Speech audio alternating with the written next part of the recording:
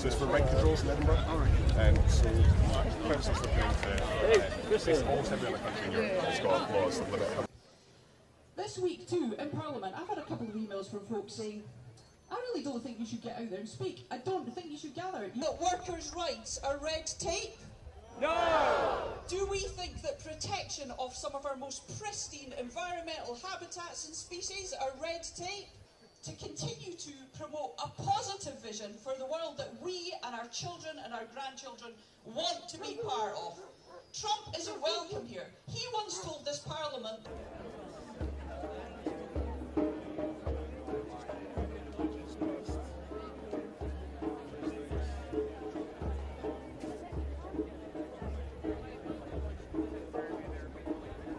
So we are here today, standing shoulder to shoulder, all parties and none, all faiths and none, standing together in this capital to send a message out to the world that Scotland stands united against Trump.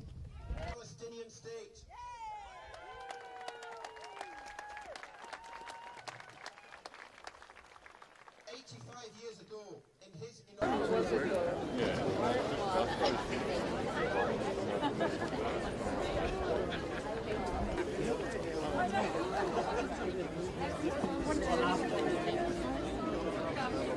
I like the freedom.